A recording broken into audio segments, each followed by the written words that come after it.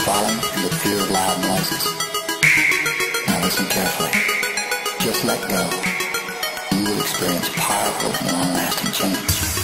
Everything from this moment on depends entirely on you. All of your five senses become much more acute.